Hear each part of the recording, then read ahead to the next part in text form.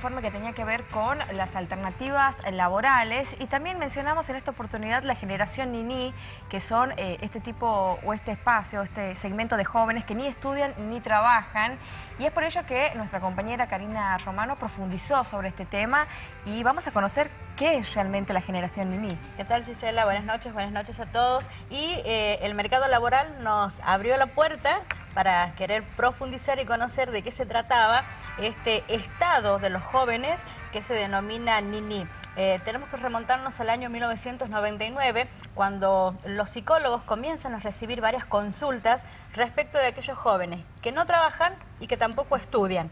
Una franja de edad que va desde los 15 hasta los 24 años por lo general aquellos jóvenes que se encuentran indecisos, no quieren tomar responsabilidades, pero que todavía quieren seguir amparados en su hogar. Eh, la, probabilidad de que según ellos no consiguen ninguna alternativa que pueda llegar a satisfacerlo, por lo cual no tienen ni siquiera eh, ganas de emprender ningún proyecto, no tienen por lo general tampoco vida personal y quieren seguir amparados en las comodidades de su hogar. Entonces allí surge, eh, pero es un fenómeno para América Latina, es un fenómeno para Europa, porque en Europa los niní alcanzan hasta los 35 años.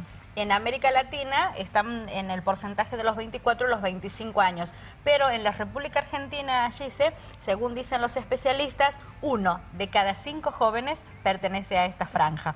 Así que conozcamos los que dicen los profesionales en Santiago del Estero respecto del perfil de los niní. Adelante. Es una denominación creada por un psicólogo argentino eh, de apellido Schuchman que implica eh, un conjunto de jóvenes que ni trabajan ni estudian, o esa es la percepción que hay dentro del ámbito social, que están en un terreno donde no se apasionan y no tienen un compromiso ni una responsabilidad con nada. Estos jóvenes ocupan un importante porcentaje de los jóvenes hoy en la actualidad, licenciado. En realidad, carezco de los datos suficientes para hablarte de estadística, pero sí se observa dentro de los consultorios o dentro del grupo de pacientes que están preocupados por algo de esto. Eh, hay muchos jóvenes que están en este estado en que no saben hacia qué cosas hacer una vez que termina el secundario. En realidad el problema empieza entre los 16 o 17 años en el momento en que tienen que decidir qué hacer más allá del colegio secundario y hacia dónde orientarse. Ahí es como que empiezan una serie de dudas que no hacen que hacen dificultoso, digamos, su inserción en el mundo de los adultos o su proyecto para insertarse en el mundo de los adultos. En general, eh, podríamos calificarlo como un estado que puede suceder cuando el joven todavía no encuentra cómo armar su proyecto de vida o su camino hacia la adultez, ¿sí?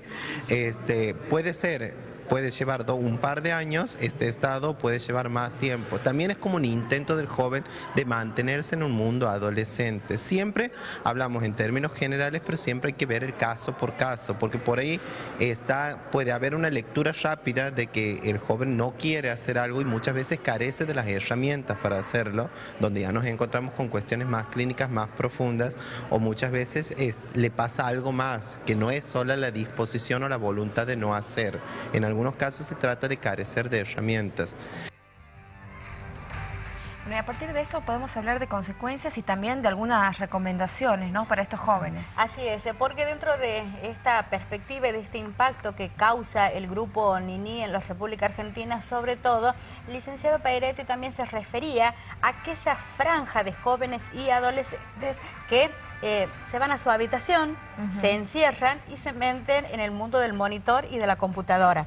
Eh, construyen una vida a través de las redes sociales y les da miedo enfrentar la realidad social. Esa es la visión también que tiene el Nini, que puede tener obviamente sus implicancias de llegar a cierta edad cronológica y no tener ningún proyecto de vida, inclusive ningún proyecto de vida familiar. Entonces, el licenciado Paireto nos decía, concurren eh, no los Nini, concurren los padres a ver qué es lo que pueden hacer, cómo orientar y poder encarrilar de alguna manera este sentido. Y tres aspectos, como cierra esta nota para terminar de escucharlo al licenciado Peiretti y Gisela, el tema de la probabilidad de que puedan encarar alguna actividad que los apasione, algún deporte, alguna actividad cultural.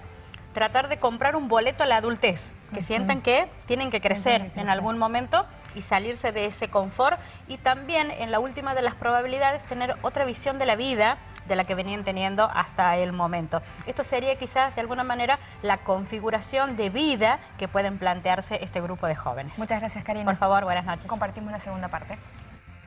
También tenemos que tener en cuenta que el mundo de los jóvenes eh, o el tiempo en el cual todos estamos atravesados es conocido en el, en el ámbito científico como la etapa postmoderna, que también tiene ciertas características que muchas veces bombardea de ofertas a los jóvenes, bombardea de propuestas y entonces el joven queda atrapado en estas ofertas y en estas propuestas y no sabe qué decidir porque no tiene claridad con respecto a sus propios deseos ni con respecto a su propia pasión. ¿Sí?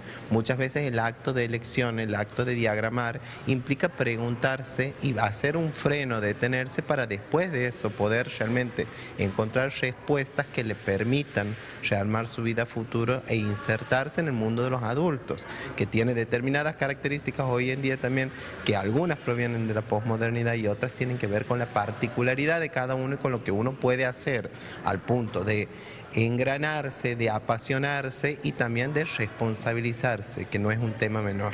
Muchas veces hay que hacer mucho énfasis en la prevención, ¿sí?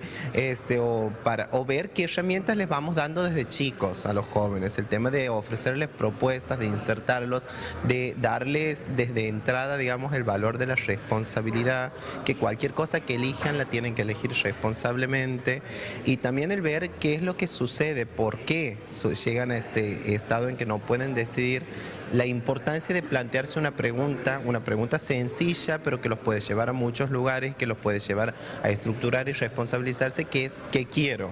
Y una vez que se le plantean qué, qué, qué quieren, el tema de posibilidad eh, de empezar a armar algo con eso que quiero que implique la responsabilidad. Y también eh, muchas veces eh, que tiene la idea errónea, que también por ahí viene de las experiencias personales, que no hay que hacer faltar nada, hay que dar mucho, hay que dar todo. Bueno, muchas veces el adolescente se tiene que encontrar con esta cuestión de la falta, de que algo falte, de que algo descomplete, de que algo incomode y justamente para que a partir de eso él mismo se pueda preguntar qué es lo que quiere y también eh, lo que siempre se ha dicho, normas, leyes, el tema de instaurar leyes muchas veces o límites, muchas veces es tranquilizador para el joven y lo ayuda a orientarse.